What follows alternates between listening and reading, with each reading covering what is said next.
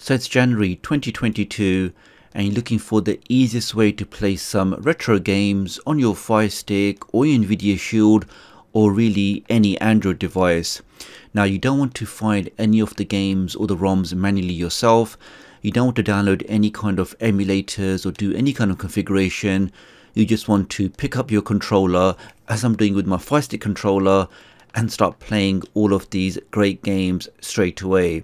Well, in this video today, let me show you a single application that works great on the Fire Stick, on the Nvidia Shield, and through this single application, you really can go ahead and enjoy all of your favorite retro games. So please do take a moment to hit that like button, make sure you hit that subscribe button. So with all of that being said, Let's get started. If you're new to the channel and you want to stay up to date with the latest tech tutorials, the latest Fire Stick, Android and Android TV tips and tricks, then please do subscribe and hit the notification bell. It's a small click from you, but it makes a big difference to me. Thank you. Okay, so to get this application on your Fire Stick or any of your Amazon or Android TV devices, just head over to settings, go down into My Fire TV, click on developer options, where it says install unknown apps, let's click on that and make sure downloader is set to on.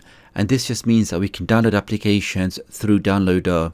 Once you've confirmed that, let's now press the home key and let's open downloader. Inside downloader, we can make a quick connection to my website, which is just techdoctoruk.com, or you can type in the shortcode 53402. Let's type that in and click on go and this will take you directly to my site. Now when you get to my site, if you head over to the hamburger menu, which is one with the three lines, click on that, click on tutorials, and the latest tutorial in the list will be how to get this retro gaming emulator on all of your devices. So let's open that up. Here we are. So here's some information about the application. I mean, who doesn't love retro gaming? Let's scroll down. Underneath all of that, we'll have a single link to the application that we need. Here we are, let's click on that, scroll down, and you're looking for this green download button. Let's click on that, and this will download the application directly onto your device. I can now click on install, give that a second, that's now all done. I can click on done. I do recommend that you delete the installation file as it is 50 meg in size. Click on delete again, and let's now press the home key. Now before we open up the application, as I demonstrated at the start of this video, yes you can use your standard remote control to play some of these games, the 8-bit games, basically the ones that don't require many buttons, but you can imagine the, the gaming experience, you know, on a controller like this versus using something like a true gamepad. So before I open the application, I'm also going to pair my Xbox One controller. So I just go over to settings, go down into remotes and Bluetooth devices, go to game controllers, click on add game controller, and now using my Xbox One game controller, I'm just going to put that into pairing mode. But of course you can use any Bluetooth controller that you like. That now comes up. I can now click on that, give that a second, that's now all paired. Now I can actually now use the controller to navigate through the menu. So I'm going back, let's go back again and let's now start the application. Now the application has a very nice clean layout and as this is the Android TV version you can do all of the navigation with the standard remote control or in my example I'm going to use my Xbox One controller. Let's go back. Now we can see on the home screen we have a recommended section. Here we can see options for ranking, uh, the latest games that have been added as they are constantly adding new games to this application and we can also search for games. Uh, let's go over to ranking and this will basically show you all of the popular games across all of the different systems. So here we can see we have good old Mario for uh, Famicom, uh, which is your Super Nintendo. We have some other games here like Street Fighter, like Contra. Now if you can see at the top right, we are on page 1 of 519. So as I'm scrolling to the right, we can see we do have a, a very, very large library of games. Now, one key thing I did notice that you do need to turn off your VPN before using this application. So I do think it's a bit sensitive and if you did have your VPN running in the background, I did find that most of these didn't actually load properly or you couldn't actually see the thumbnails. Uh, but we can see that's working fine. Now, of course, any game you want to play. So here we have the good old Sunset Riders on the Mega Drive. Let's click on that. And we can see we get the option to download. So I can now click on download. So literally within a couple of seconds, no messing about trying to find different games online through this single application. I can find any game that I want to play. I can then click on launch and I'm going to select my Xbox controller. And let's quickly customize those keys. So click here.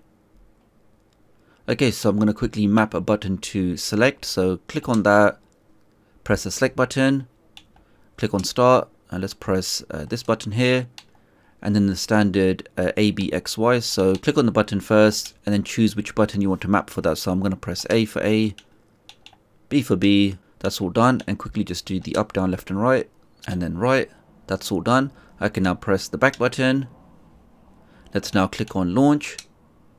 This should now launch the game for us automatically and it will automatically choose the best emulator for you. I can now press the start key which I mapped as this one. That's working fine. Let's just do one player. And In a couple of seconds, we are now playing this game. All of the controls are working. I can take out these bad guys and get shot. okay, let's see if I can just uh, get the extra gun there. That's working great. Now when you want to exit, I can press the start and select together and click on exit but we can see you do have the option to also save state. So if you do want to save your progress you can click on save state and the next time you start this application go back into load state and you can then continue where you left off. But I'm going to go to exit and that's Sunset Riders. Let's back out of ranking. We can also go to latest and this will show you all of the latest games that have been added. So some different ones in here. Let's press back now you can also search for games. So if I click on search, so I can just type in the first few letters. So S, then T. There we are. So let's just go for the first one. We can see that's 22 meg in size. Click on that. Click on download. And if any of you guys are still here with me, then if you drop a like on this video and leave the comment hashtag arcade, then I know you made it this far in the video, which I always appreciate. I'll then heart your comment. Now on these arcade games, you have to press the select button to add a virtual coin. So let's press select. That's now gone in. Let's click on start. And literally within a couple of seconds, we were able to browse a large library of games, choose the game, click on download, click on launch, and we are now playing that exact game. So they really have made the process super easy allowing you to enjoy all of your favorite retro games. Take that Spider-Man. Uh, there you go.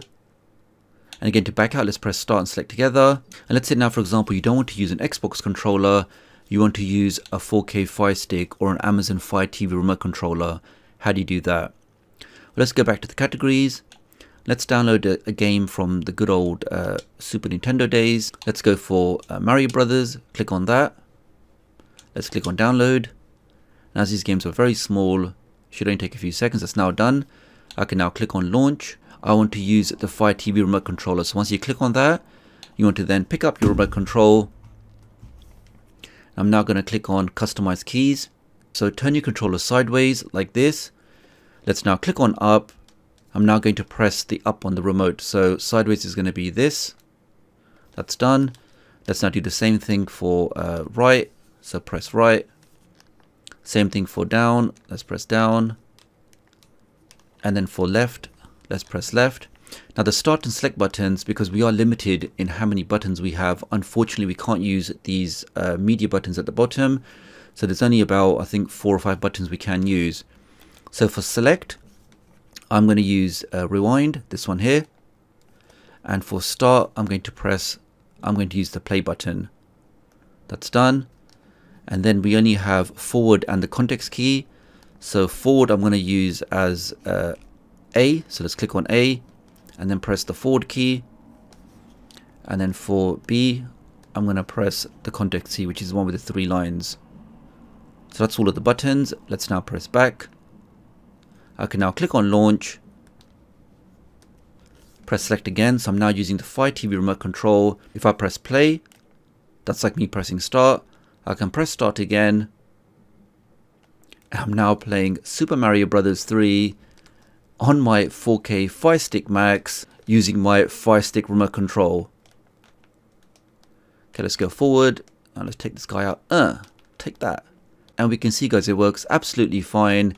It is a little bit fiddly as you can imagine, but it does work. So if you really don't want to spend any money on a game controller and you just want to play these more basic 8-bit games, you can go ahead and do that as I'm demonstrating here. So that's all for this video guys, many thanks for watching. Lots of you were asking for the easiest way to play retro games without doing any of that legwork or finding ROMs online or downloading ROMs or transferring ROMs, configuring emulators and all of that manual stuff. This really is the easiest way to avoid all of that. So if you did find this video useful then do give it a thumbs up. If you want to see more stuff like this then please do subscribe, hit the notification bell with all notifications and I'll hopefully catch up with you guys real soon. Thanks.